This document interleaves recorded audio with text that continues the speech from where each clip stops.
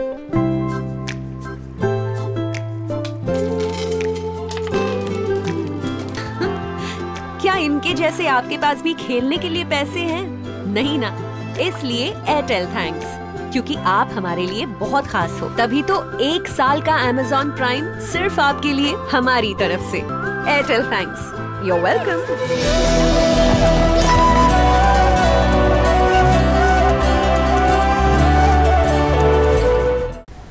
पंढरपुरात उद्धव ठाकरेंच्या सभेचं आयोजन करण्यात आलं आहे. या सभेसाठी लाखोंचा जनसमुदाय लोटला आहे.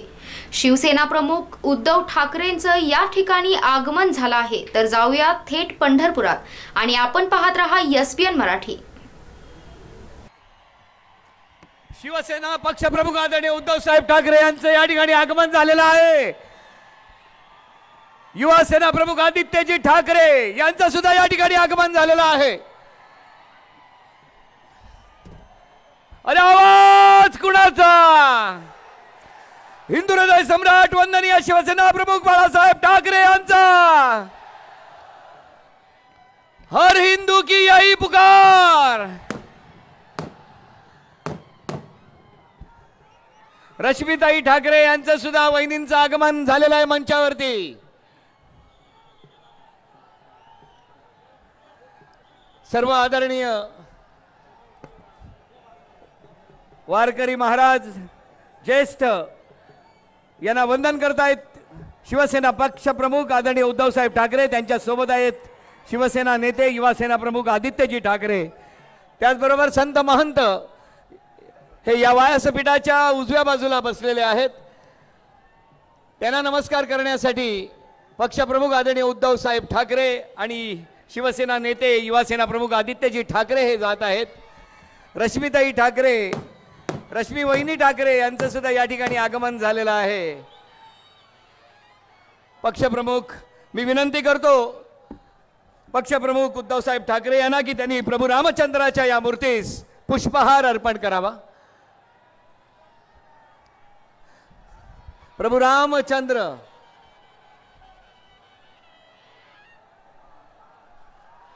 हर हिंदू की यही पुकार.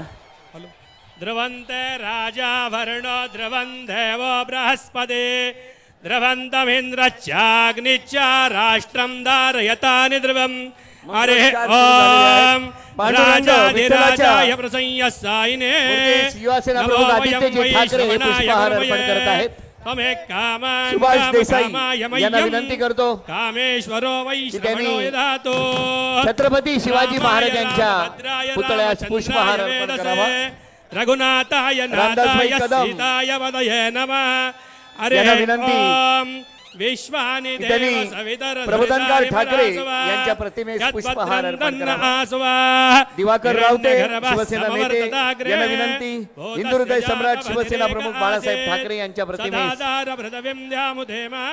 माननीय संजय राऊत शिवसेना नेते. यांना विनंती आहे मासाहेबांच्या प्रतिमेस पुष्पहार अर्पण करावा.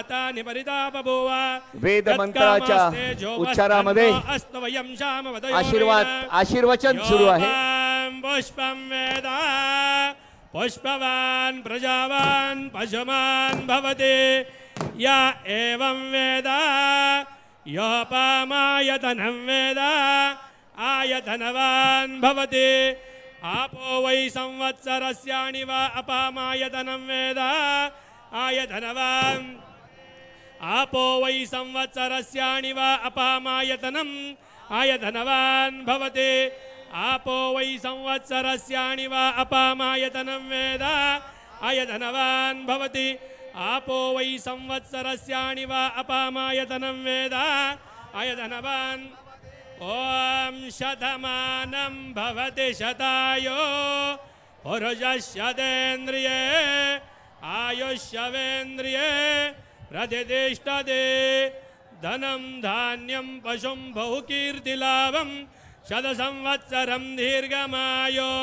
ध्रुवन्ते राजा वर्णो ध्रुवं देवो ध्रुवन्तमिन्द्रच्याग्निच्च राष्ट्रं धारयतान् श्रीराम राम रामेति रमे रामे मनोरमे सहस्रनाम तत्तुल्यम रश्मी वहिनीला विनंती आहे की आपण स्टेजवर यावं. रश्मी वहिनी आपण स्टेजवर यावं आणि बघितलं आपण आता खरं तर पक्षप्रमुख उद्धवसाहेब ठाकरे यांच्यासाठी एक आसन सिंहासनासारखं सोलापूर शिवसेनेकडून ठेवण्यात आलं होतं पण पक्षप्रमुखांनी सांगितलं नाही सर्वसामान्यांप्रमाणे सर्वांप्रमाणेच मी स्थान ग्रहण करीन. असे हे सर्वांमध्ये असणारे सर्वांचा आदर करणारे माणसावर माणसाप्रमाणे प्रेम करणारे हे सुसंस्कृत नेतृत्व शिवसेना पक्षप्रमुख आदरणीय उद्धवसाहेब ठाकरे. मी रश्मी वहिनीला विनंती करतो आपणही स्थानापन्न व्हावं. आणि आता मी विनंती करतो सोलापूर संपर्क प्रमुख तानाजी सावंत यांना की त्यांनी प्रास्ताविक करावं.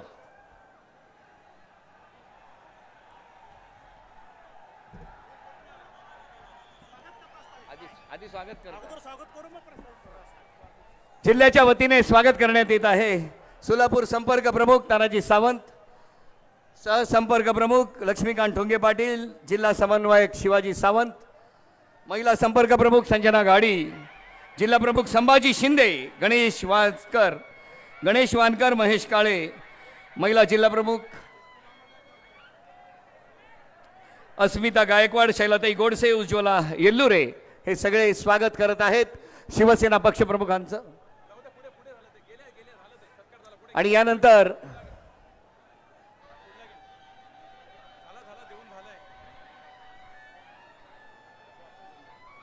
एस टी महामंडळाकडून स्वागत होत आहे अहोरात्र मेहनत करणारी ही टीम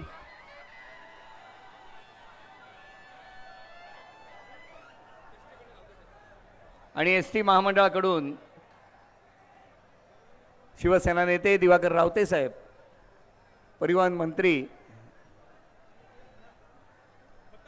पक्षप्रमुख उद्धव साहेब ठाकरे यांना पुष्पगुच्छ देत आहेत.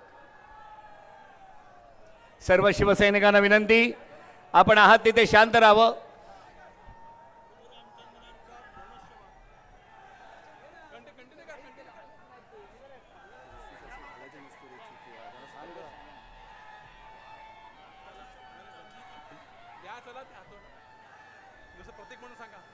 आणि यानंतर मी विनंती करतो तानाजी सावंत यांना की त्यांनी प्रास्ताविक करावं.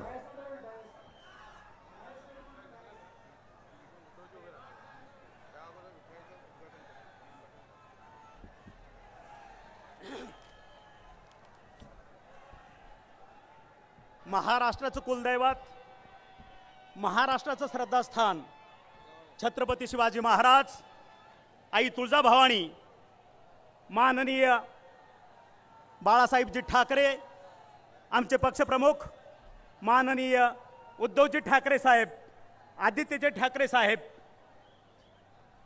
इथं जमलेले आमच्या पक्षाचे सर्व सन्माननीय मंत्रीगण खासदार नेते उपनेते आमदार आणि ह्या ठिकाणी महाराष्ट्राच्या कानाकोपऱ्यातून उपस्थित राहिलेला माझा वारकरी आणि अयोध्या दोन ह्या मुद्द्यावरती आपल्याला उद्धवसाहेब मार्गदर्शन करतील.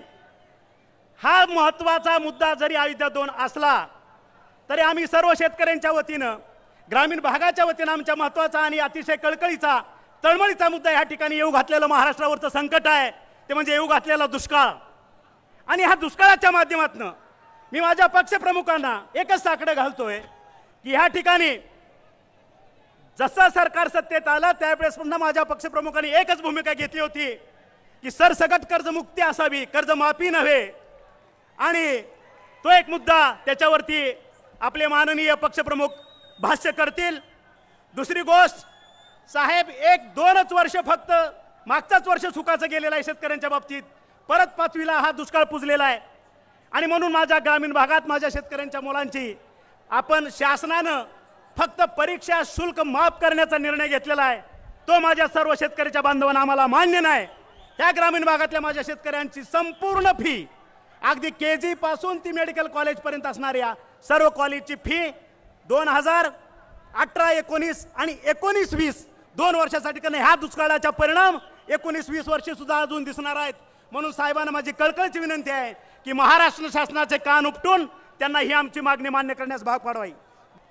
या ठिकाणी सर्व सन्माननीय नेत्यांचा सन्मान राखून रश्मी वहिनी मंचावर बसल्या होत्या. पण त्यांची अशी इच्छा आहे की समोर सर्वांमध्ये बसून सर्व शिवसैनिकांमध्ये बसून ही सभा आणि साहेबांचे विचार ऐकावेत. सर्व शिवसैनिकांमध्ये रमणारं आणि शिवसैनिकांचा विचार करणारं हे कुटुंब. आणि यानंतर विठाई या बसचं उद्घाटन होतं आहे. महाराष्ट्रभरातल्या सगळ्या आगारातून ज्या बसेस पंढरपूरला येतील त्या विठाई या नावानं येतील इथून पुढे. रिमोटच्या माध्यमातून आता उद्घाटन होतं आहे.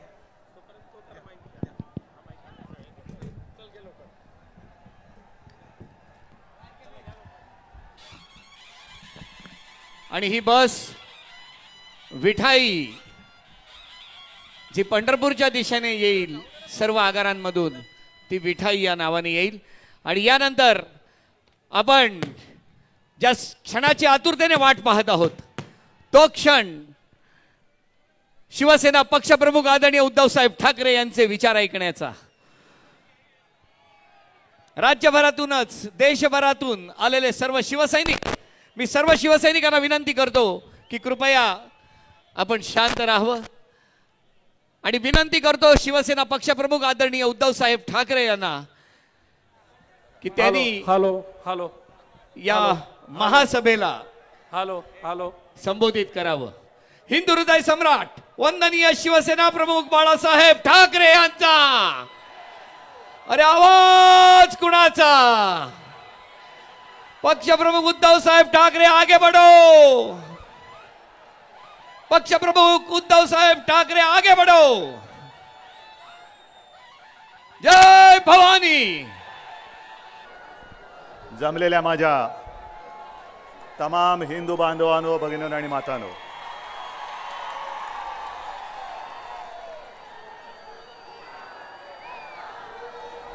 हे दृश्य माझ्या डोळ्यामध्ये साठवण्याचा प्रयत्न करतोय.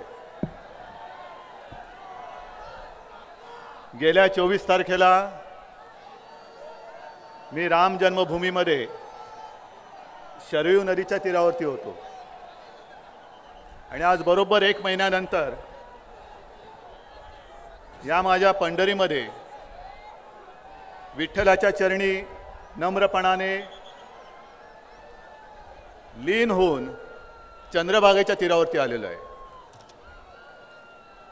या सभेला ज्या वेळेला मी निघालो त्यावेळेला काही जणांनी असं सांगितलं की हे जे मैदान आहे या मैदानामध्ये कोणी सभा घेण्याचं धाडस करत नाही.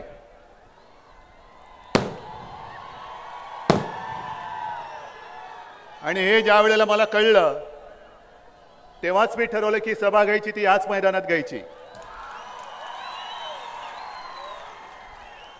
कारण शिवसेना प्रमुखांचा पुत्र दुसऱ्या कोणत्याही मैदानामध्ये अशी सभा घेऊ शकत नाही.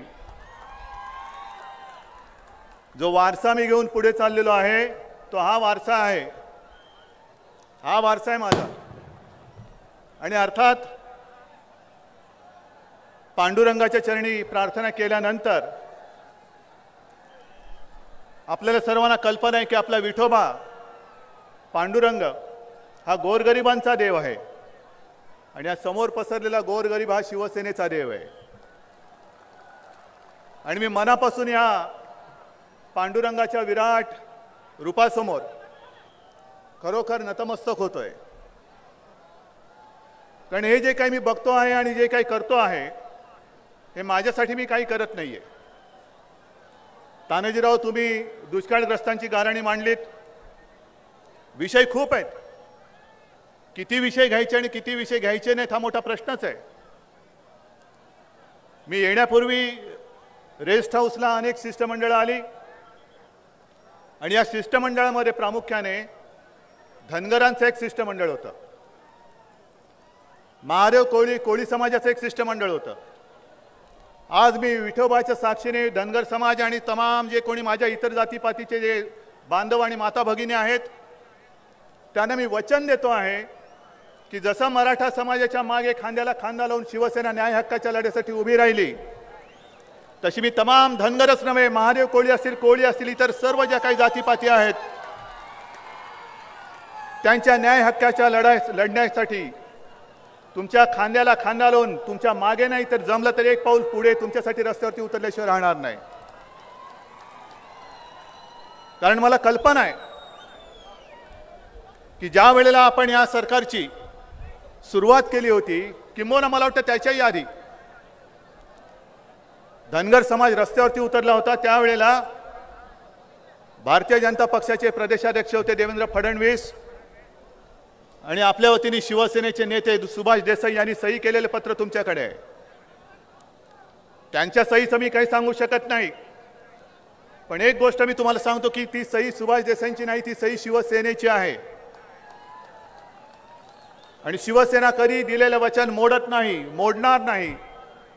आणि म्हणूनच आज निवडणुका नाहीत काही नाहीत काही नाही तर या तमाम जो काही जनसागर इकडे लोटलेला आहे हा केवळ आपल्या वचनबद्धतेचा साक्षीदार म्हणून लोटलेला आहे.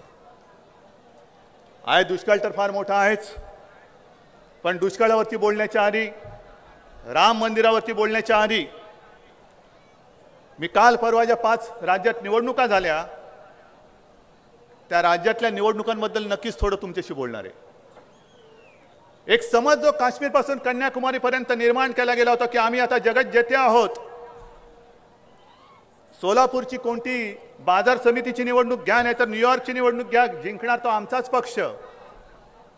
हा जो काय समाज किंबहुना समज संपूर्ण देशात पसरवला गेला होता त्या समाजाच्या ठिकऱ्या त्या समाजाच्या ठिकऱ्या या पाच राज्यांनी उडून टाकलेल्या आहेत. पाच राज्यांनी असा काही धुवा उडवून टाकला की मला नाही वाटत तोंड वरती करून आता तिकडे हारलेले पक्ष प्रचाराला जाऊ शकतील. बरं विशेष म्हणजे दोन राज्य ज्या मी ज्या राज्यांच्या निवडणुका झाल्या हा कॅमेरावाले जरा खाली बसा पाठीकडे दिसत नाही. थोडं खाली बसून घ्या तुमचे कॅमेरा चालू ठेवा आणि पाठच्यानं बघू द्या. हा ठीक आहे ठीक आहे. विशेषतः दोन राज्याची झाली. एक म्हणजे मिझोराम. हो ना हो. मिझोराम आणि तेलंगणा. तुम्हाला कल्पना नेमकं त्या राज्यामध्ये काय निकाल लागला? पाच राज्यांच्या निवडणुका झाल्यानंतर पाचही राज्यामध्ये भाजपाचा सुपडा साफ झाला. पण विशेष मला अभिमान वाटतो या दोन राज्यांनी जिथे प्रादेशिक पक्ष मजबूत आहे तिकडे दोन्ही राज्यांनी राष्ट्रीय पक्षांना धूल चाललेली आहे. दोन्ही राज्यांनी. मला त्यांचं खरंच खास कौतुक करायचंय. आणि दुसरं जे राज्य आहे ते छत्तीसगड. छत्तीसगड तुम्हाला कल्पना आहे आदिवासी राज्य आहे. बहुसंख्याने तिकडे आदिवासी आहेत. आणि आज जर का आपण कोणाला विचारायला गेलो तर आपल्याला ते सांगतात की हे सगळं ठीक आहे जे चाललंय ते आम्हाला पसंत नाहीये. पण पर्याय कोण आहे? हे नको आहेत ठीक आहे पण पर्याय कोण आहे? आणि मला खरंच अभिमान वाटतो छत्तीसगड सारख्या किंबहुना छत्तीसगडमधल्या आदिवासी समाजाने पर्याय कोण याचा विचार न करता पहिली घाण घरात झाली ती पहिली घाण साफ करतो पहिलं माझं घर साफ करतो मग पर्यायचं पुढचं पुढे बघू. म्हणून त्यांनी मतदान केलेलं आहे. आई ही ताकद ही हिंमत माझ्या शिवरायाच्या महाराष्ट्रामध्ये आहे. जे काम मिझोरामने आणि तेलंगणाने केलं की प्रादेशिक पक्ष म्हटल्यानंतर राष्ट्रीय पक्षांची मस्ती दिल्लीमध्ये चालली तर चालेल पण माझ्या घरामध्ये राष्ट्रीय पक्षाची मस्ती चालू देणार नाही. हे त्या दोन राज्याने दाखवलंय. मग शिवप्रभूंचा महाराष्ट्र त्याच्यामध्ये मागे पडणार आहे का? हा सुद्धा मोठा प्रश्न आहे. नाहीतर हे तानाजीराव तुम्ही आज मांडलेत उद्या मांडाल परवा मांडाल. ठीक आहे. अयोध्येला गेल्यानंतर मला इकडे तिकडे विचारलं होतं की अयोध्येत का आलात? राम मंदिर हो म्हटलं राम मंदिर बांधणार म्हणजे बांधणारच. पण अयोध्येला मी एवढ्यासाठी गेलो होतो की जो कुंभकर्ण झोपलेला आहे त्या कुंभकर्णाला मी जाग करायला गेलो होतो. कुंभकर्ण झोपलाय त्या कुंभकर्णाला जागा करण्याची आज आवश्यकता आहे आणि त्या कुंभकर्णाला जागा करण्यासाठी मी अयोध्येला गेलो होतो. आज सुद्धा मी पंढरपुरामध्ये त्याचसाठी आलेलो आहे की झोपलेल्या कुंभकर्णाला जाग करण्यासाठी आलेलो आहे. तमाम माझ्या हिंदूंना मी सोबत घेऊन आलेलो आहे. आणि कुंभकर्णाला मी सांगू इच्छितोय की कुंभकर्णा तू जरी झोपला असलास तरी देशातला तमाम हिंदू जागा आहे. हिंदू झोपलेला नाही हिंदू झोपू शकत नाही. राम मंदिर बांधल्याशिवाय आम्ही स्वस्त बसू शकत नाही. मग कोणीतरी मध्ये आणखीन एक बातमी सोडली की पंढरपूर नंतर उद्धव ठाकरे वाराणसीत जाणार. जाईन सुद्धा. संपूर्ण देशात फिरेन. पण मला हा काही एकच उद्योगधंदा करणार नाहीये मी. मी आज तुम्हाला विचारतोय की कुंभकर्णाला आपण जागा करत फिरतो आहोत. पण जर का कुंभकर्णा झोपून राहिला तर तुम्ही काय करणार आहात? जर कुंभकर्ण उठलाच नाही तर मी कुंभकर्णाला सांगू इच्छितोय की तू कुंभकर्णा तू वेळेमध्ये जागा हो नाहीतर पेटलेला हिंदू तुझी जागा झा- दाखवल्याशिवाय राहणार नाही. हिंदू पेटलेला आहे आता. आणि आज असा राम मंदिराचा मुद्दा आहे. अनेक जणांनी मला त्या त्यावेळेला विचारलं होतं की तुम्ही राम मंदिर घेऊन फिरता आहात? पण महाराष्ट्रामध्ये दुष्काळ आहे. आहे महाराष्ट्रामधला दुष्काळ मी बघतो आहे. एक दोन महिन्यापूर्वी मी ज्या वेळेला दुष्काळग्रस्त भागामध्ये फिरत होतो पुन्हा जाणार आहे. जानेवारीमध्ये मी संपूर्ण दुष्काळग्रस्त महाराष्ट्र आहे तो महाराष्ट्र पिंजून काढणार आहे. तुमच्या सगळ्यांच्या साथी सोबतीने मी फिरणार आहे. पण दुष्काळग्रस्त महाराष्ट्रामध्ये फिरताना बीडमध्ये मी जेव्हा गेलो होतो आहेत नाही सगळे माझ्यासोबत मंत्री त्याही वेळेला होते. बीडमध्ये मी बघितलं एका शेतीत पाहणी करायला गेलो तो पीक तर तरपून गेला होता. पीक असं करपलं होतं की ते कोणतं पीक आहे ते सुद्धा कळत नव्हतं. सांगावं लागत होतं की हा कापूस होता. हे अमुक होतं हे तमुक होतं. एवढी संपूर्ण शेतकऱ्याची दैना दोन महिन्यापूर्वीपासूनची झालेली आहे. पण विशेष म्हणजे मला त्या शेतकऱ्यांनी दाखवलं चेहऱ्यावरती सुरकुत्या पडलेला एक म्हातार बाबा होता. मला त्या शेतकऱ्याने दाखवलं की साहेब हे बघा म्हणे हे काय एक झाड दाखवलं त्याने. म्हटलं काय रे बाबा हे काय ओळखताच येत नाही. आणि त्याने मला सांगितलं की कडुलिंबाचं झाड आहे. माझा विश्वासच बसत नव्हता. ते म्हणाले माझ्या आयुष्यामध्ये मी पहिल्या प्रथम बघतोय की कडुलिंबाला सुद्धा कीड लागलेली आहे. कडुलिंबाला सुद्धा किडीने खाऊन टाकलेलं आहे. पूर्णपणे त्या कडुलिंबाची वाताच झाली होती. पानं तर गेलीच होती पण नुसत्या शिरा राहिल्या होत्या. आणि मग हे सुद्धा एक आश्चर्य हे बाबा खाली बसन जरा त्यांना बघू दे नीट. आणि मध्ये मध्ये जरा प्लीज बोलू नका.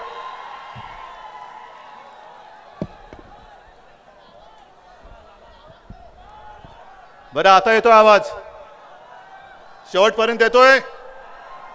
हा ठीक आहे. फक्त आता मध्ये बोलू नका. आणि त्या शेतकऱ्यांनी सांगितलं की मी माझ्या आयुष्यामध्ये पहिल्या प्रथम बघतो आहे की कडुलिंबाला म्हणजे ज्या कडुलिंबाने आम्ही कीड मारत होतो त्या कडुलिंबाला सुद्धा कीड लागली. म्हटलं असंच झालेलं आहे. हल्ली पहारेकरी सुद्धा चोऱ्या करायला लागलेले आहेत. हे दिवस असेच आलेले आहेत. हे दिवस एवढे विचित्र आलेले आहेत की संपूर्ण महाराष्ट्र आज पाण्याने त्रस्त झालेले आहे. मुंबईमध्ये सुद्धा पाणी कपात करावी लागते. हा जो काय परिसर आहे सोलापूर आहे या सोलापूरमधला करमाळ्याची एक ती बातमी मी पाहिली होती वाचली होती. केंद्रीय पथक काय हो? केंद्रीय पथक आलं हो. मला वाटतं की केंद्रीय पथक हे बुलेट ट्रेननी आलं होतं. आलं होतं ना? मग त्याला वेळच नव्हता. बुलेट ट्रेनमध्ये यावं तसं आले पट पट पट पट पट पट आपलं श्राद्ध उरकावं तसं उरकलं आणि निघून गेले. आणि या करमळाच्या शेतकऱ्यांनी त्यांना विचारलं की साहेब तुम्ही आम्हाला सांगा पीक करपून गेलेलं आहे कर्ज डोक्यावरती चढते बँकांचं कर्ज आहे सावकाराचं कर्ज आहे. पीक विम्याचा काही पत्ताच नाही आहे मदत तर सोडूनच द्या. पाणीसुद्धा नाही आहे चारासुद्धा नाही आहे जनावरांना. आम्ही जगायचं कसं ते तुम्ही सांगा. झालं आता महिना दोन महिने होऊन गेले. केंद्राचं पथक येऊन बघून गेलं. मधल्या काळामध्ये पंतप्रधान आले होते महाराष्ट्रामध्ये. दुष्काळग्रस्त महाराष्ट्राला आम्ही आठ हजार कोटी नाही पूर्ण मदत केल्याशिवाय राहणार नाही. प्रधानमंत्र्यांना मला सांगायचं जग फिरताय जरा माझ्या दुष्काळग्रस्त महाराष्ट्रामध्ये येऊन जा. थोडी पायधूळ नका झाडू. पण इथली माझ्या पंढरपुरातली धूळ माथी लावून गेलात ना तरी थोडंफार पुण्य तुम्हाला लागल्याशिवाय राहणार नाही. अजिबात जगभराची धूळ इकडे झाडायला येऊ नका. तुमची धूळ तुमच्याकडेच ठेवा नंतर उपयोगी पडेल. पण माझ्या महाराष्ट्रातली पवित्र माती महाराष्ट्राची पवित्र माती ही मस्तकी लावून गेलात ना तर काहीतरी तुम्हाला एक पुण्य लाभेल. येत आहेत आणि जात आहेत कशाचा कशाला पत्ता नाही. शेतकऱ्यांचं उत्पन्न आम्ही दुप्पट केल्याशिवाय राहणार नाही. हे मी नाही म्हणत पंतप्रधान म्हणत आहेत नेत्या ताई टाळ्या वाजवायला लागल्या. मी थापा नाही मारत ताई. जे मी बोलतो ते मी करून दाखवतो आणि जे करून दाखवत असतो तेच मी बोलतो. पण पंतप्रधान जे बोलले की मी शेतकऱ्यांचं उत्पन्न दुप्पट केल्याशिवाय राहणार नाही. लोकांनी असेच तुमच्यासारखे लोक जमले होते टाळ्यांचा कडकडाट केला. किती साली? दोन हजार बावीस. म्हणजे मध्ये दोन हजार एकोणीसला तुम्ही कोणाला मत द्यायला पाहिजे? मलाच द्यायला पाहिजे. म्हणजे दोन हजार एकोणीसला पुन्हा मी पंतप्रधान झालो आणि दोन हजार बावीस साल्यानंतर मी तुम्हाला सांगणार की हा एक निवडणुकीचा जुमला होता हो. असं बोलावंच लागतं. काय करणार मी? आणि हा जुमला दोन हजार बावीस सालीने काल परवाकडेच उघडकीस आलेला आहे. संसदेमध्ये ज्या वेळेला प्रश्न विचारण्यात आला की शेतकऱ्यांचं उत्पन्न दुप्पट करण्यासाठी तुमच्याकडे काय उपाययोजना आहेत सरळ सरकारने हात वर केले आणि सांगितलं की अशी कोणतीही उपाययोजना आम्ही करत नाहीत. आमच्याकडे कोणतीही अशी उपाययोजना नाही. मग पुन्हा तुम्ही सगळे जमलेले तमाम शेतकरी आहात वारकरी आहात. अहो वारकरी आम्ही सुद्धा आहोत. आम्ही सुद्धा तुमचेच आहोत. आणि वारकरी हा काय फक्त पंढरपुराची वारी करणारा नाही. तर वारकरी हा अन्यायावरती वार करणारा वारकरी असतो. आणि आम्ही सुद्धा अन्यायावरती वार करणारे वारकरी आहोत. पण आम्ही वार करतो तो समोरून छातीवर करतो. पाठीकडनं शंडासारखा वार आम्ही नाही करत. आम्ही नाही करत. पण एवढं ते काही सरकार बोलतं आहे की आमच्याकडे कोणतीही योजना नाही. बरं संताप कोणत्या गोष्टीचा येतो की सध्या देशामध्ये एक घोटाळा गाजतोय? कोणता घोटाळा? राफेल. आहे ना लक्षात आहे ना? लक्ष देत आहे ना? हा घोटाळा कशाचा आहे? आपल्या सैन्यासाठी आपल्या देशासाठी जी विमान खरेदी करायची आहे त्या विमान खरेदीमध्ये घोटाळा झालाय असा एक मोठा समज नव्हे असा आरोप आहे. आणि त्याच्याबद्दल सुद्धा जे काही प्रश्न निर्माण केले गेले त्या प्रश्नाला उत्तर दिली गेलेली नाहीत. पण कोर्टाने कशी क्लीन चिट दिली मला माहिती नाही. असं म्हणतात कोर्टाने क्लीन चिट दिली. पण ज्या सैन्यासाठी तुम्ही विमान खरेदी करता आहात त्या विमान खरेदी करण्यामध्ये घोटाळा होतोय. आणि मधल्या काळामध्ये जो आपला सैनिक जीवाची बाजी लावून आपल्यासाठी तिकडे सीमेवरती लढतो आहे. प्राण गेला तरी बेहत्तर रोज सैनिक आपले मरतातच आहेत. देशासाठी शहीद होतातच आहेत. पण ज्या सैन्यासाठी तुम्ही विमान खरेदी करताना सुद्धा त्याच्यामध्ये घोटाळा होतोय त्या सैन्याची पगार वाढ करण्याचा जो काही एक प्रस्ताव आला होता तो प्रस्ताव आपल्या या सरकारने नाकारून टाकला केंद्र सरकारने. खरं आहे का खोटे का खासदारांनी सांगावं खरं आहे की खोटे मग लष्कराला पगारवाढ पाहिजे ती तुम्ही देत नाहीत. पण लष्करासाठी जी काही शस्त्र सामुग्री खरेदी करायची माझ्या देशाच्या संरक्षणासाठी करायची ज्याची आपल्याला गरज आहे त्या शस्त्र सामुग्रीच्या खरेदीमध्ये तुम्ही घोटाळा करतात. किती पाप करतात? आज सुद्धा संपूर्ण शेतकरी पाणी पाहिजे पाणी पाहिजे म्हणून सगळीकडे भटकतोय वणवण फिरतोय. मराठवाड्याची हालत जाऊन बघा काय झालेली आहे. आजच तिकडे पाण्याशिवाय जीव जातोय की काय अशी परिस्थिती निर्माण झालेली आहे. ना त्याचं पीक कर्ज तुम्ही माफ कर माफ करतात. इकडे शेतकरी किती आलेत?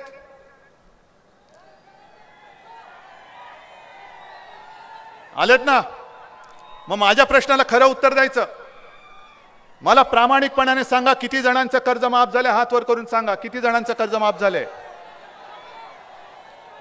खोटं बोलू नका मला बरं वाटेल म्हणून बोलू नका. उलट तुमचं सगळ्यांचं कर्ज माफ झालं असेल तर मुख्यमंत्र्यांपेक्षा सगळ्यात जास्त आनंद मला होईल. पण इथे आलेले एवढे शेतकरी लाखो शेतकरी असताना बत्तीस हजार कोटीची कर्जमाफी केली गेली असं जो काही डंका पिटला जातोय त्या बत्तीस हजार कोटीच्या कर्जमाफीमध्ये माझ्या इथे जमलेले एक सुद्धा शेतकरी ज्याचं कर्ज आजपर्यंत माफ नाही झालं. पीक विमा योजनेची किती हप्ते तुम्हाला मिळालेत परत? नुकसान भरपाई किती जणांना मिळालेले? मग तुम्ही शेतकरी आहात का माझ्यासारखे शहरी बाबू आहात? शेतकरी आहात ना? मग तुमची कर्जमाफी झालेली नाही. तुम्हाला पीक विमा योजनेचा हप्ता किंवा नुकसान भरपाई मिळाली नाही. पाण्याची तर काही चर्चाच करू नका. मग जे पी साईनाथ म्हणून आहेत त्यांनी एक मोठा आरोप केलेला आहे फार गंभीर आरोप आहे. आणि त्यांनी असा आरोप केलाय की पीक विमा योजनेमध्ये सुद्धा राफेल सारखाच मोठा घोटाळा या सरकारने केलेला आहे. काय कोणाचा देश आहे? जय जवान जय किसान. जवानांसाठी शस्त्र खरेदीसाठी घोटाळा होतोय. जय किसान म्हटल्यानंतर किसानांसाठी असलेल्या योजनेमध्ये घोटाळा होतोय. आणि मग तुम्हाला काय वाटतं तरी सुद्धा आम्ही हिंदुत्वासाठी पाप करणाऱ्या सरकारची तळी उचलून पुन्हा हिंदुत्वाचे टाळ वाजवत तुमच्यासमोर काय आरती करू आम्ही? आज जो काही मी इकडे जमलेलो आहोत आम्ही इकडे सगळे हे केवळ काही हिंदू म्हणून नाही जमले. या देशाचे नागरिक म्हणून आपले अन्नदाते शेतकरी म्हणून आणि त्या शेतकऱ्यांची मुलं इकडे जमलेली आहेत. बोला त्यांना न्याय देणार आहात की नाही? न्याय मागणं हा जर का गुन्हा असेल आणि केवळ तुमचा आवाज उठवणं तुमच्या ब- बाजूने जर सरकारला धारेवर धरणं हा जर का गुन्हा असेल तर तो गुन्हा मी केल्याशिवाय राहणार नाही तो मी गुन्हा करणार. हिंमत असेल तर मला शिक्षा करून दाखवा. हिंमत असेल तर शिक्षा करून दाखवा. हे मधमाशाचं पोळ आहे. मध मिळते तोपर्यंत ठीक आहे पण मधाच्या पोळ्यावरती जर का दगड मारला तर या मधमाशा पिसाळून उठल्याशिवाय राहणार नाही तेवढं लक्षात ठेवा. कोणाच्या जीवावरती तुम्ही राज्यकर्ते बसले बनलेला आहात? कोणासाठी तुम्ही राज्य करता आहात? पीक विमा योजनेमध्ये सुद्धा सरकारच्या चार कंपन्या असताना देखील इतर बारा आणखीन खाजगी कंपन्यांना हे काम दिलं गेलं. जी गोष्ट राफेलमध्ये झाली तीच गोष्ट या पीक विमा योजनेमध्ये झालेली आहे. राफेलचं काम जसं अनुभव नसलेल्या कंपनीला दिलं गेलं. काय कोणाचा काही संबंध नव्हता? ज्या कंपनीला ते काम दिलं गेलं त्या कंपनीचा आणि विमान काय काही बनवण्याचा काही संबंध नव्हता.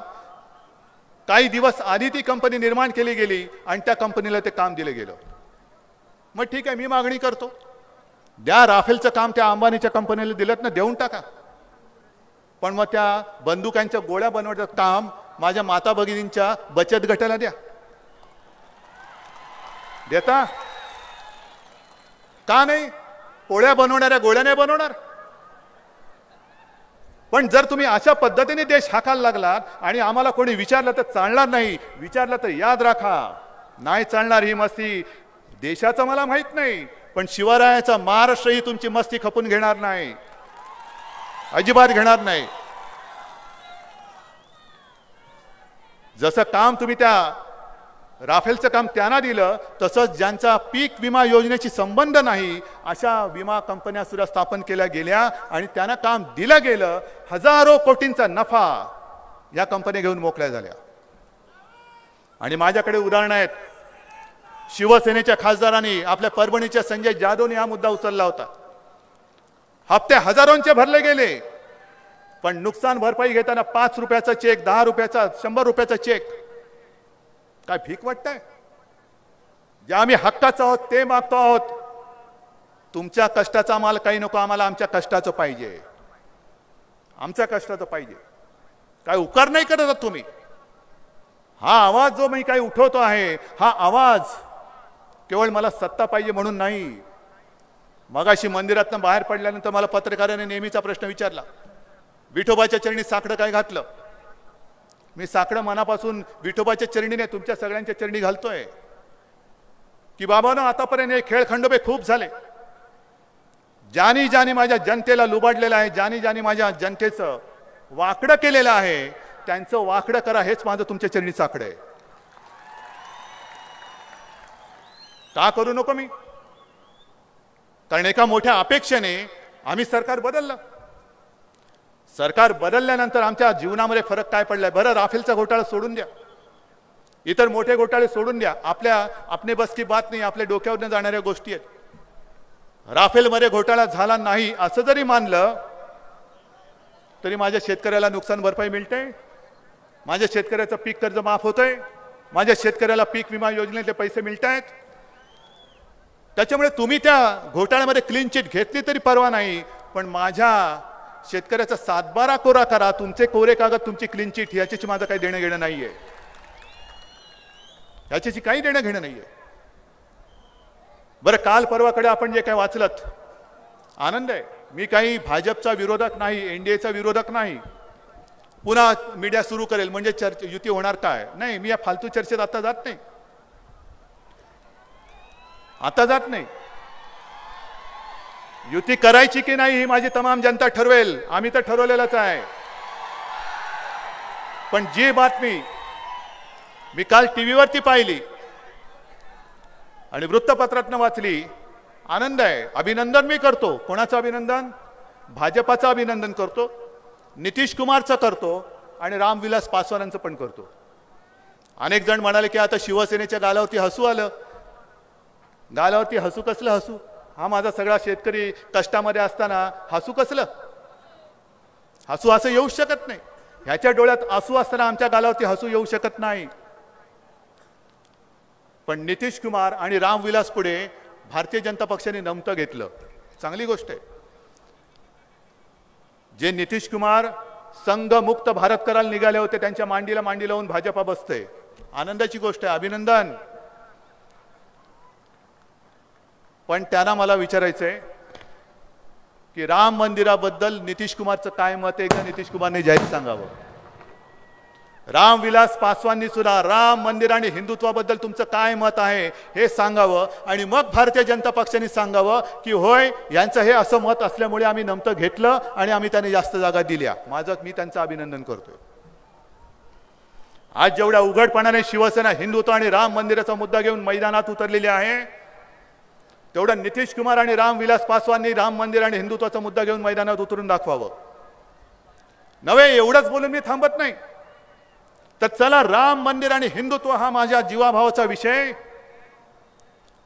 पंतप्रधानांनी लोकसभेत चर्चेला घ्यावा आणि एकदा होऊन जाऊ द्या एनडीए मधले किती घटक पक्ष राम मंदिराच्या आणि हिंदुत्वाच्या बाजूने आहेत आणि किती विरोधी पक्ष त्याला विरोध करतात होऊन जाऊन द्या माझा खुला कारभार आहे. खुला आव्हान आहे माझं. होऊन जाऊ दे. राम मंदिराचा मुद्दा आम्ही एवढ्यासाठी घेतलेला आहे. होय मी घेतला. निवडणुकीच्या तोंडावरती घेतलेल्या आहे निवडणुकीसाठी घेतलेल्या आहे. काय कोणाची विचारण्याची हिंमत आहे मला विचारा. चला या समोर माझ्या. मी ताकाला जाऊन भांड लपवणारा नाहीये. मी भांडाफोड करणारा माणूस आहे म्हणून ताकाला जाऊन भांड लपवणार नाही. आणि ताक कसलं पिताय प्यायला पाणी नाही तिकडे ताकाचं भांडे घेऊन काय जाते तुम्ही? पण मी राम मंदिराचा मुद्दा एवढ्यासाठी घेतलेला आहे की जवळपास अठ्ठावीस तीस वर्ष झाली. मंदिर वही बनाएंगे मंदिर वही बनाएंगे. निवडणुका आल्यानंतर यांच्या अंगामध्ये देव घुमायला लागतात. राम मंदिराचा नारा गुंज संपूर्ण देशामध्ये घुमवला जातो. आणि आम्ही आपले बावळट हिंदू भोळे हिंदू बावळट आहोत असं तुम्हाला वाटत असेल. पण माझ्या देशातला हिंदू बावलट नाही तो भोळा जरूर आहे पण बावलट नाहीये. दरवेळेला आम्ही असा विचार करतो की हिंदुत्वासाठी यांनाच मत द्या. थांबा रे जरा. जरा थांबा. आवाज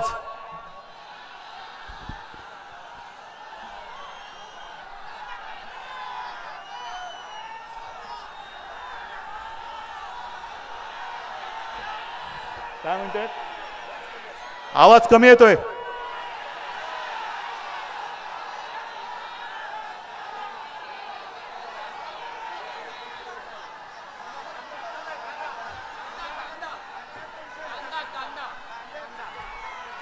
थांबा ना जरा आधी बोलल्यानंतर त्यांना बेशुद्ध पडू द्या मग त्यांच्या नाकाला कांदा लावतो मी. जरा मला माझं पूर्ण करू द्या. आपल्याकडे कांदा राखून ठेवा.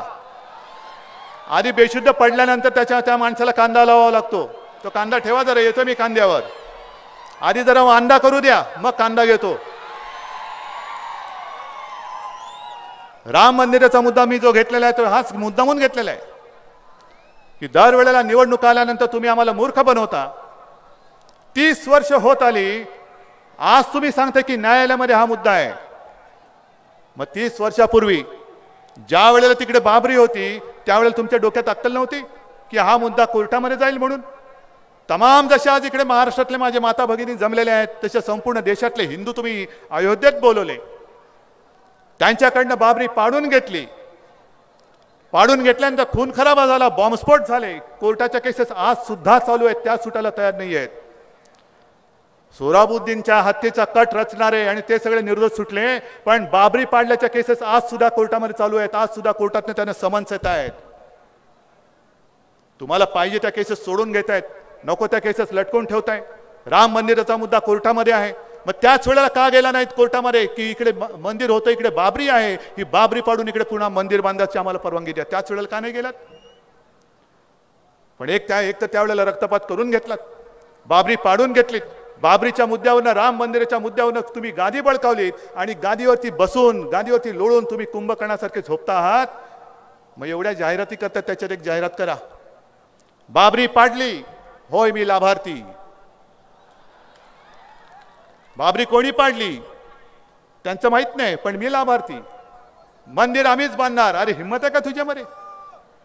उत्तर प्रदेशचे मुख्यमंत्री जे बोलतायत की होय मंदिर आम्हीच बांधणार. मग बांधा ना थांबवले कोणी तुम्हाला?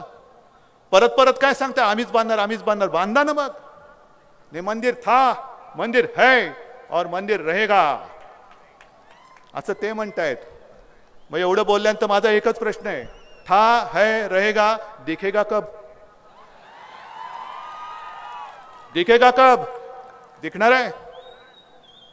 आणि मग तुम्ही आता जे काय करताय काल परवाकडे केलं एक तर डिजिटल इंडिया सगळ्यांना मोबाईलचं वेळ लावलं. सगळ्यांना कॉम्प्युटरचं वेळ लावलं. आणि आता तुमच्या आमच्या कॉम्प्युटरमध्ये घुसणार. तुमच्या मोबाईलमध्ये घुसणार. अरे घुसताय कशाला? मी सरळ सगळ्यांच्या समोर बोलताय. काय घुसताय? बोलतोय ते बोलतो या आणि बघा काय बोलतोय. पण हे बोलल्यानंतर ज्या वेळेला आपण आरोप करतो की हे सरकार पुन्हा आणीबाणी आणते जनतेच्या खाजगी आयुष्यामध्ये हे घुसखोरी करते तेव्हा त्यांनी एक छान उत्तर दिलं की आम्ही नाही करत. हे काँग्रेस सरकारचंच अपत्य आहे. काँग्रेस सरकारच कॉम्प्युटरमध्ये घुसले होते आणि काँग्रेस सरकारच मोबाईलमध्ये घुसले होते. अरे म्हणून तर काँग्रेस सरकारला लात घालून हाकलून दिलं. तेच तुम्हाला पाहिजे. काँग्रेसचं जर का ते अपत्य आहे तर हे अपत्य तुम्ही का मांडीवर घेताय? या अपत्याला तुम्ही का दूध पाचताय काँग्रेस नको म्हणून आम्ही तुम्हाला त्यांना घालून टाकलं आणि तुम्हाला बसवलं. तुम्ही जर का पुन्हा तेच करणार असाल किंवा उद्या तुम्ही सुद्धा आणीबाणी आणाल. पंतप्रधान जेल भरो योजना. सगळ्यांना वाटेल हे काय? नाही काँग्रेसनेच लावलेली होती आणीबाणी. आम्ही पुन्हा लावतोय. नाही हे एवढ्या निर्लज्जपणाने कारभार करू नका. आज सुद्धा कांदा उत्पादक बसलेला आहे. किती तुम्हाला उत्पादनाचा खर्च किती येतोय? आणि त्याच्या पलीकडे तुम्हाला जाऊन बाजारामध्ये जाऊन तुम्ही कांदा विकला तरी तुमची नुकसान भरपाई काय? तुमचा उत्पन्नाचा खर्च भरून येत नाही हे मला माहिती आहे. हे मला माहिती आहे. आणि मग म्हणून मी तोच प्रश्न तुम्हाला विचारायला आलेलो आहे की कांदा उत्पादक हे सुद्धा पेटलेले आहेत. दुधाचे उत्पादक ते सुद्धा मध्ये रस्त्यावरती उतरतात. सगळेच शेतकरी हे रस्त्यावरती उतरल्यानंतर आम्ही काय जागा वाटपात कर राहू? मला जागा वाटपामध्ये स्वारस्य नाहीये मला या सगळ्यांचं कर्ज मुक्त करून मला पाहिजे. मला राम मंदिर बांधून पाहिजे. मला शेतकऱ्यांचा पीक विमा योजनेचं नुकसान भरपाईचा पैसा आणि पैसा त्यांना दिला गेलेला पाहिजे. जागा वाटप गेला खड्ड्यात. जागा वाटपाशी मला काही चर्चा करण्याची नाहीये. हे जे काय तुफान उठत आहे या तुफानाला तुम्ही शांत करणार आहात की नाही हे केलं नाही तर मग तुमच्या मांडीला मांडी लावून मी सत्तेमध्ये कशाला बसू? ही सत्ता नसली तरी चालेल पण मला माझ्या हे प्रेम आहे हे प्रेम मला पाहिजे. या पांडुरंगाचं प्रेम या पांडुरंगाचे आशीर्वाद मला पाहिजेत आणि त्या आशीर्वादासमोर मला सत्ता गौण आहे. ती सत्ता नसली तरी चालेल. ह्या पांडुरंग हा तेवढा मला याचा आशीर्वाद पुरेसा आहे. अरे कोणी काय माझ्यासमोर येऊ दे पण हा पांडुरंग माझ्यासोबत असल्यानंतर? समोर आव्हानं किती मोठी असली तरी मला माहिती आहे त्याचा चुराडाग करून हा पांडुरंग मला जे काय द्यायचं मला नको आहे मला काही व्हायचं नाही मी तुमच्यासोबतच राहणार आहे. आणि म्हणून आज सरकारला मी इशारा देतोय की या कांदा प्रश्न किती दिवसात सोडवत आहे ते सांगा. पीक विमा योजनेचे पैसे दोन महिन्यामध्ये त्यांना भरायला मिळायला पाहिजे होते ते नऊ नऊ महिने होऊन गेले सुद्धा तरी सुद्धा मिळत नाही कधी देते ते मला सांगा. शेतकऱ्यांचं कर्ज माफ केलंय. माफ केलेला एकही शेतकरी मला एकाही सभेत भेटत नाही. कर्ज माफ केलेले शेतकरी मला पहिला कधी दाखवते तुम्हाला दाखवा. या सगळ्या प्रश्नांची उत्तरं ही घेतल्याशिवाय निवडणुकीच्या तयारीला अर्थ काय? आज बाकीचे सगळे पक्ष निवडणुकीच्या तयारीला लागलेले आहेत. पण शिवसेना निवडणुका बाजूला ठेवून गोरगरिबांसाठी आणि दुष्काळग्रस्तांसाठी रस्त्यावरती उतरायला तयार झालेली आहे. आणि आज मी जाहीर करतोय की माझ्या तमाम ग्रामीण भागातल्या शिवसेनेच्या ज्या काही शाखा आहेत या शिवसेनेच्या नुसत्या शिवसेनेच्या शाखा नसून माझ्या शेतकऱ्याचं हक्काचं ते आधार केंद्र आजपासून ते बनेल. योजना अनेक आहेत पण त्या योजनांची अंमलबजावणी होते की नाही आणि उगाच काहीतरी साक्षी पुरावे मागून माझ्या शेतकऱ्याला गोरगरिबाला जर नडण्याचा प्रयत्न केला तर गाठ शिवसेनेची एवढं लक्षात ठेवा. आहे माझा शेतकरी हा कर्जबाजारी झालेला आहे दुर्दैवाने झालेला आहे. पण तो कर्जबाजारी झाला तरी तो स्वाभिमानी आहे. तो त्याचं नाव मल्ल्या किंवा मोदी नाही पळून गेलेला मोदी नाही. हा फसवणार नाही अजिबात फसवणार नाही. कारण तो या मातीला नुसती माती मानत नाही तर माता मानतो. आणि त्या मातेला फसून तो विदेशात जाणार नाही. ती अवलाद ही तुमच्याकडे असेल पण माझ्या शिवप्रभूच्या महाराष्ट्रामध्ये नाहीये. आणि जे तानाजीराव तुम्ही सांगितलं या गोष्टी आहेत खरंच आहेत. नुसतं परीक्षेची फी माफ नकोय. दुष्काळ पूर्ण आपण घालवेपर्यंत त्याची शालेय फी माफ करा. वीज जोडण्या कापल्या जात आहेत. कशाला तुम्ही योजना आणली? सौभाग्य योजना आणि ही योजना. अरे एक छत्तीसगडचं उदाहरण मी तुम्हाला सांगायचं राहून गेलं. ज्या वेळेला छत्तीसगडच्या निवडणुका समोर आल्या होत्या त्यावेळेला पंतप्रधान मोदीजी की मन की बात गरीब भगिनी बसल्या होत्या समोर आणि तिकडनं पलीकडनं दिल्लीतून पंतप्रधान बोलत होते. की हा कैसे हो? ठीक आहे हा ती म्हणे ठीक आहे मग त्यांनी विचारलं तुमची शेतीचं उत्पन्न दुप्पट झालं की नाही? मग त्यांनी त्या महिलेने सांगितलं दुप्पट झालं. क्या बात आहे दुप्प दुगणी हो गई? तिले हा हो गई. तो खुश हो? हा खुश आहे ते एका टी व्ही चॅनलवाल्याने त्याचा पाठपुरावा केला की कोण आहेत ह्या ताई? कुठल्या आहेत? त्या निघाल्या छत्तीसगडमधल्या. आणि त्या छत्तीसगडमध्ये त्या बाईंच्या घरी गेल्यानंतर खरी परिस्थिती लक्षात आली की शेतीचं उत्पन्न वगैरे काही दुप्पट झालेलं नव्हतं शेतीची राख रांगोळी झाली होती. मग तरीसुद्धा या बा बाई कसं काय बोलल्या? चौकशी केली. आणि चौकशी केल्यानंतर कळलं की काही दिवसांपूर्वी गावात एक केंद्रीय पथक आलं जसं हे आलं होतं दु- दुष्काळाची पाहणी करायला. आणि त्या पथकाने विचारलं आपको प्रधानमंत्री से बात करनी है? हाँ करनी है. आपको करनी है? करनी है. आपको करनी है? करनी है. अच्छा ठीक है. बात करनी है तो ट्रेनिंग लेना पड़ेगा. ट्रेनिंग कसलं? झूठ बोलने का ट्रेनिंग? प्रधानमंत्री से बात करनी है तो ये तो ट्रेनिंग लगेगा। आणि मग प्रधानमंत्री असं बोलतील तुम्ही असं बोलायचं. त्याने असं विचारलं तुम्ही असं सांगायचं. आणि हे भांडाफोड केल्यानंतर या चॅनलवाल्यांना विचारा त्या रिपोर्टरला घरी पाठवलं आणि ते चॅनलसुद्धा बंद करून टाकलं. आणि म्हणून मला खास करून त्या छत्तीसगडच्या जनतेचं कौतुक करायचं आहे की हा सगळा जो काय तमाशा होता एवढंच नाही. तर छत्तीसगडमधल्या काँग्रेसची सगळी नेत्यांची फळी नक्षलवाद्यांनी जंगलामध्ये कचाकचा गोळ्या घालून ठार मारली होती. तरीसुद्धा नेता कोण हा प्रश्न त्यांना पडला नाही आदिवासींना पडला नाही. त्यांनी घाण पहिली साफ केली. पहिलं माझं घर साफ करतो पहिलं माझं राज्य साफ करतो. पुढे काय करायचं ते आम्ही समर्थ आहोत. याला म्हणतात धाडस. जे धाडस मला शिवरायाच्या महाराष्ट्राकडनं अपेक्षित आहे. शिवरायाचा महाराष्ट्र कारण हे हे पंढरपूर आहे. पंढरपूर म्हणजे तमाम दुनियेतले सगळे हिंदू इकडे येतात पंढरीला येतात. सगळे संत येतात. आपला महाराष्ट्र हा परंपरेच्या बाबतीत कोणत्याही वारसा घ्या कोणताही वारसा घ्या. ना संतांचा असेल समाजसेवकांचा असेल लढवयांचा असेल समाज सुधारकांचा असेल. कोणत्याही वारशामध्ये महाराष्ट्र माझ्या माझ्या देशात इतर राज्यांपेक्षा असेल नव्हे आहे तो पाऊल पुढेच आहे मागे कोणत्याही क्षेत्रात नाही आहे आणि मग असं सगळं आपल्याला संपन्न वारसा लाभलेला असताना जर उद्या आपल्याला वेळ आली नव्हे ती वेळ येतेच आहे वेळ आणली गेलेलीच आहे की माझं राज्य शिवसेनेचं राज्य शिवसेनेचं राज्य हे आणणार म्हणजे आणणार ही माझी शपथ आहे. आणि हे शिवसेनेचं राज्य हे राज्य आल्यानंतर सुद्धा मी असाच फिरणार आहे जसा आज तुमच्यासमोर आलोय तसाच फिरणार आहे. कारण शिवसेना प्रमुखांनी जी शिकवण दिलेली आहे एक तर शब्द देण्यापूर्वी शंभर वेळा नाही लाख वेळा विचार कर पण एकदा शब्द दिला तर प्राण गेला तरी बेहत्तर. पण शब्द खाली पडता कामा नये. आणि कधी मी ज्या वेळेला तुमच्यासमोर येईन त्यावेळेला आपलं सगळ्यांचं सरकार हे असं काम करेल की खाली मान घालून मला तुमच्याकडे पाहावं लागणार नाही. अभिमानाने बघेन की होय हेच हेच हे तुमचं सरकार आहे तुमचं सरकार आहे तुमचं सरकार आहे. हे सरकार आणण्यासाठी आज आपण इकडे शपथ शपथबद्ध झालो पाहिजे. बाकी सगळे ठीक आहे? शिवसेना काय करणार आपण दाखवलेलं आहे? रामदासभाई तुम्ही गेल्या महिन्यामध्ये किती करोडो रुपयांचं सगळं वाटप केलेलंच आहात. सगळे मंत्री आपले त्याच्यामध्ये उतरलेलेच आहेत. पण जानेवारीपासून मी स्वतः या दुष्काळग्रस्त भागात फिरणार आहे. आणि एवढंच नाही गोवंश हत्याबंदी जी काय आज सरकारने केलेली आहे गोवंश तडफडून मरतोय की काय अशी परिस्थिती आहे? चारा नाही पाणी नाही. त्या गोवंशावरनं अनेक राज्यांमधनं हिंसाचार होतोय खून खराब होत आहेत. पण इकडे गायी आणि गुरं ही तडफडून प्राण सोडतात की काय अशी परिस्थिती? त्या गो गोधन जे आहे त्या गोधनाला सुद्धा शिवसेनेच्या वतीने यथाशक्ती जे काय करता येईल पशु खाद्य दिल्याशिवाय आम्ही स्वस्त बसणार नाही.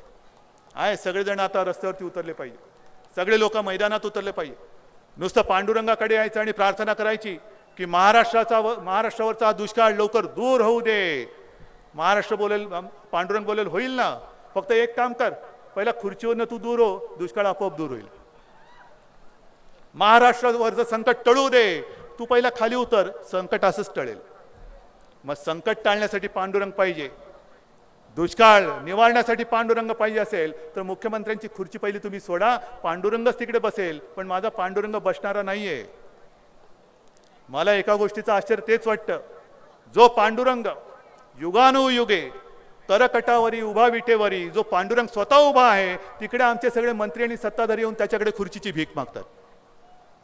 तो स्वतः उभा आहे आणि तो स्वतः गोरगरिबांचं सगळं दुःख निवारण करतोय. असा लोकांमध्ये उभा राहून पांडुरंगाचा भक्त हा केवळ शिवसेनेमध्ये आहे दुसऱ्या कोणत्याही पक्षाची ती काही लायकी नाही आहे आणि म्हणून मातानो भगिनीनं आणि बांधवानो राम मंदिराचा मुद्दा सुद्धा सोडणार नाही सुटू देणार नाही. आणि मी भाजपला एवढंच सांगतोय की ठीक आहे. अच्छे दिनाचा जुमला चलो माफ किया. पंधरा लाख माफ किए पण आमच्या देवाधिकांच्या नावाने जर जुमला कराल तर तुम्हाला माफ नवे ठोकून काढल्याशिवाय राहणार नाही. निदान आमच्या हिंदूंच्या भावनेशी खेळ करू नका. राम आणि इतर देवाधिकांच्या नावाने तुमचे जुमले करून इमले बांधू नका. हे जुमले महाराष्ट्रामध्ये शिवसेना उद्ध्वस्त करून टाकल्याशिवाय राहणार नाही. आणि म्हणून विठ्ठलाच्या चरणी मी एकच साकडं घालतोय. आपण दरवेळेला असं म्हणतो इडा पिडा टळो आणि बळीचं राज्य येऊ बळीचं राज्य आले का रे बाबानो? आलं असेल तर प्रश्न मिटला पण नसेल तर निवडणूक कधी होऊ द्या? निवडणुका दोन्ही एकत्र घ्या शंभर एकत्र घ्या. पण आता यापुढे महाराष्ट्रामध्ये येईल ते माझ्या पांडुरंगाचं शिवरायाच्या हिंदुत्वाच्या भगव्याचंच राज्य येईल. जय हिंद जय महाराष्ट्र.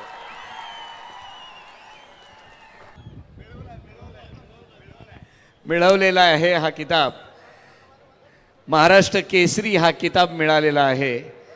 आणि त्याचं नाव आहे बाला रफिक शेख. करमाळ्याचा. याच्यासाठी जोरदार टाळ्या वाजवूया आपण. पक्षप्रमुख उद्धव साहेब यांचे आशीर्वाद घेण्यासाठी आलेले आहेत.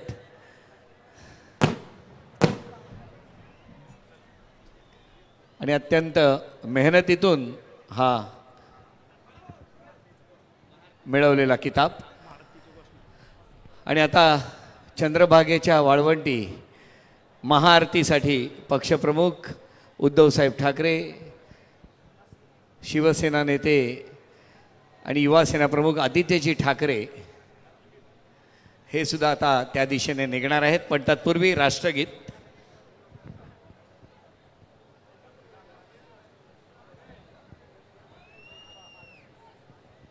साऊंड राष्ट्रगीत.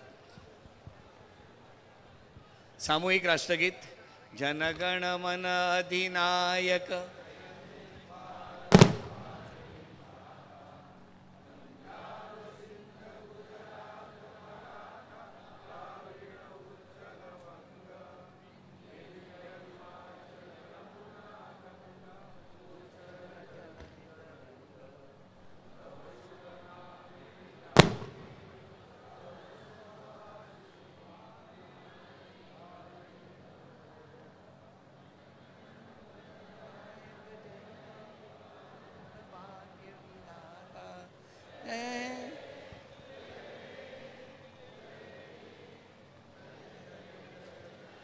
भारत माता की।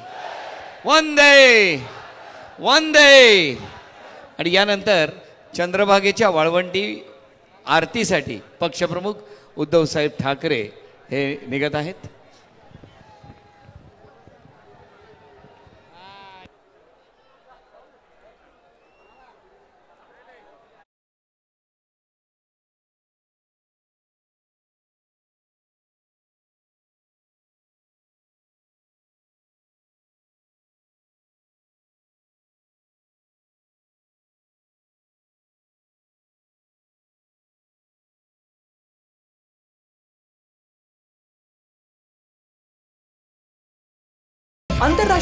आंतरराष्ट्रीय डॉक्टर बी एस भोसले यांचं आशा होमिओपॅथिक क्लिनिक आजाराच्या मुळाशी पोहोचणारी आधुनिक उपचार पद्धत. निराश होत आहे कशासाठी? होमिओपॅथी आहे सर्वांसाठी. बँक ऑफ इंडिया जवळ शिवाजी रोड मिरज.